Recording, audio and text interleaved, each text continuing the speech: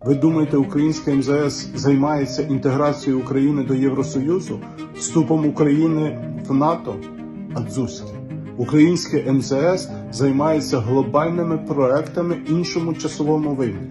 Для цього достатньо зайти на офіційну урядову сторінку, і ви прочитаєте ініціативу Міністерства закордонних справ України. На замінованих територіях треба сіяти квітоносні культури, і потім бджоли будуть збирати мед, і цей мед Українське Міністерство закордонних справ буде дарувати нашим партнерам, щоб привернути увагу до проблеми замінування території України. Що вони кують? Не знаю.